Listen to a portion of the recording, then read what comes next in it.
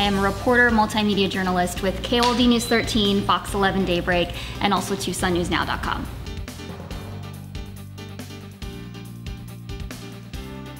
Well, I've always liked to talk and I've always been really curious and I also like to know what's going on in my community. So I think my freshman year of high school, I learned that you can get paid for doing that. So figured a journalism degree would be the right way to go.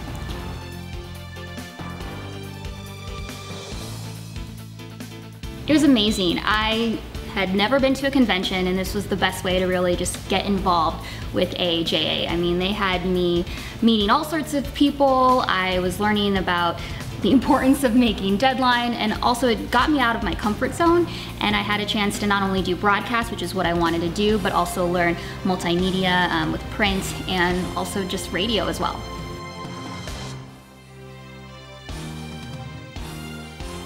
Well, it was more than just AAJA Voices. It was AAJA as a whole. I've gotten all my jobs through AAJA. Um, my first convention, I ended up meeting someone at my first station in Yuma at my another convention, I met my boss in Lansing, Michigan, and then at Unity, which is when all the affinity groups get together, I met my boss here at KOLD News 13, and so it's just been kind of a rolling thing, and it just really gives you the opportunity to practice your presentation skills and not be afraid to just go up to, you know, executives or managers, introduce yourself, and just feel comfortable doing that.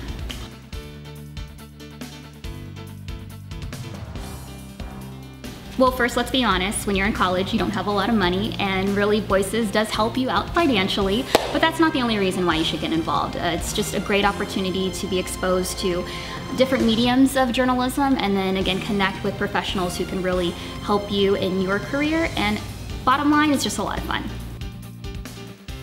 I love AAJA Voices. I mean, I met some of my best friends through the program. I still keep in touch with some of the other alumni, and it's really great to see everybody as students move forward in their careers and I really recommend the program for anyone.